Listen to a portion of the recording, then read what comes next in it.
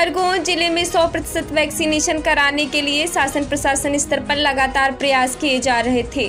ऐसे में टारगेट होने के बाद नगर पालिका प्रशासन और कॉलेज प्रबंधन ने मिलकर लोगों में जागरूकता लाने के लिए विशाल रैली का आयोजन किया, जिसमें ज़िले का समस्त प्रशासनिक महकमा मौजूद रहा। रैली पीजी कॉलेज से प्रारंभ होकर मुख्य मार्ग से निकली, बता दें खरगोन नगर में कुल एक लाख चार हज़ार लोगों का वैक्सीनेशन होना था इसके बदले एक लाख दस हज़ार लोगों का टीकाकरण कराया गया। इस मौके पर सीएमओ प्रियंका पटेल, स्वास्थ्य अधिकारी प्रकाश चित्ते सहित अनेक पदाधिकारी मौजूद रहे।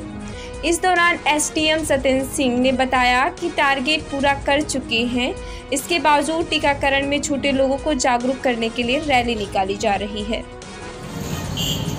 जैसा कि आप सभी को पता है कि संपूर्ण प्रदेश प्रथम डोज में शत प्रतिशत वैक्सीनेशन का लक्ष्य निर्धारित किया है। उसी तारतम्य में हम लोग जन जागृति के लिए आज नगर पालिका खरगोन के सहयोग से हम लोग आज मार्च निकाल रहे हैं और नगर पालिका खरगोन ने जो टारगेट दिया गया था वैक्सीनेशन का, उन्होंने शत प्रतिशत पूर्ण कर लिया है।